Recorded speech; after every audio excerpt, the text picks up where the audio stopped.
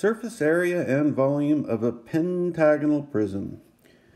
This question, if you read it, it says find the surface area, but for the purposes of uh, doing examples, I'll do both surface area and volume. So let's begin with the surface area. So what I need to do is find the area of these rectangles. They're going to be, this is a regular pentagon. Uh, so the there are going to be five of those rectangles. So we'll do five rectangles. And then there's going to be a pentagon in the front and a pentagon behind. So two pentagons and five rectangles. Over here on the right, I have the pentagon. And I know that if I were to connect all of these, this is a regular pentagon, but if I were to connect all of these, this triangle here occurs five times. So if I take 360 degrees and divide it by 5, I get 72 degrees. So this angle all the way around here is 360. And this that 360 divided by 5 gives me 72. So this angle here is 72 degrees. Each of these triangles has a 72 degree angle around the, the center of this pentagon which means each of these is 36 and 36 degrees. Now to find the area of this pentagon, we'll notice that in the directions it says the perimeter of the base is 30. So if we take 30 and divide it by the five sides, uh, we get 6. So I know that from here to here. Each side is 6, which makes this piece 3. Each of these are 3. And what I need to find is the apothem. The apothem is the, the height of one of those triangles. So uh, we're going to use the formula that the area of a regular polygon is 1 half the apothem times the perimeter.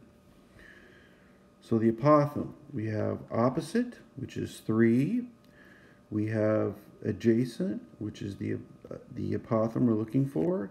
Opposite and adjacent is tangent.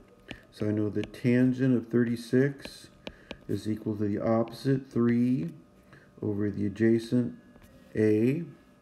And I'll put that over 1 and I'll cross multiply and I get 3 equals A tan 36 and I'm trying to find A so there's that tan I need to get rid of. I'll divide both sides by the tangent.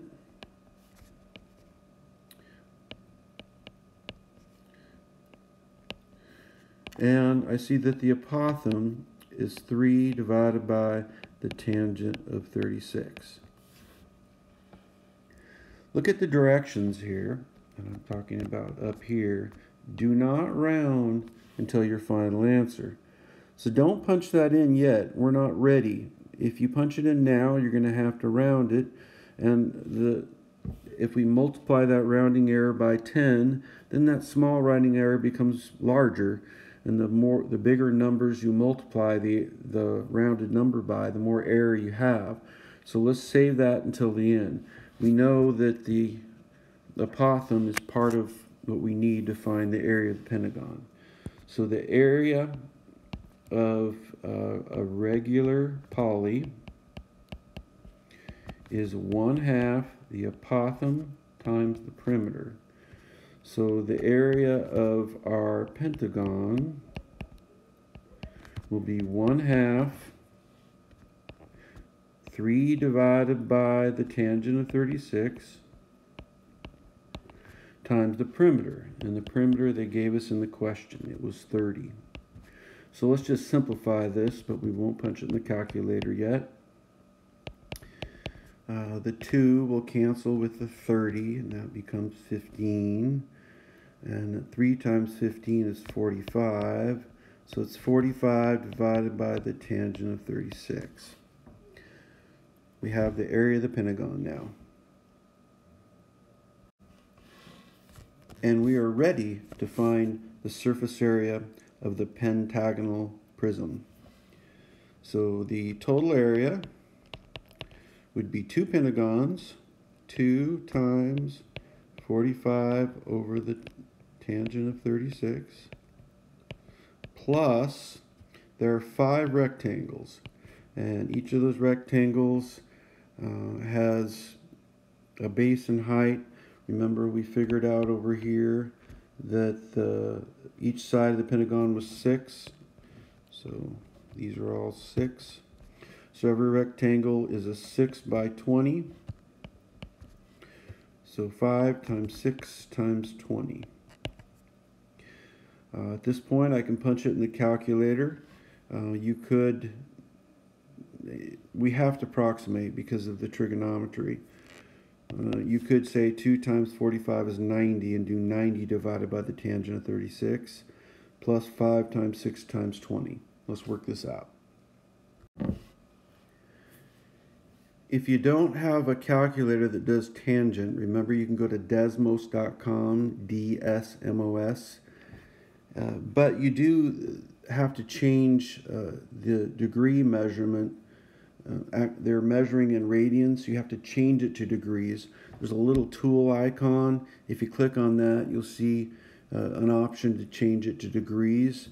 You can just punch it in Desmos exactly like this. And when you do, you will get 723 point, or rounding to the 10th, 0.9. And it would be centimeters squared. The volume is the area of the base, which was 45 divided by the tangent of 36 area of the base times the height of the prism or the, uh, the altitude of the prism. And the altitude is the distance between the two pentagons. That's the 20. So we'll take 45 times 20 and divide it by the tangent of 36.